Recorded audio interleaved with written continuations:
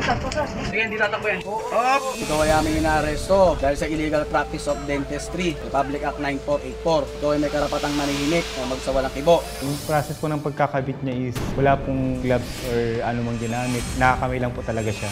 Yung talagang ginagamit po sa clinic na pandikit po, hindi po yung ganun yung ginagamit niya. Halika na, halika na.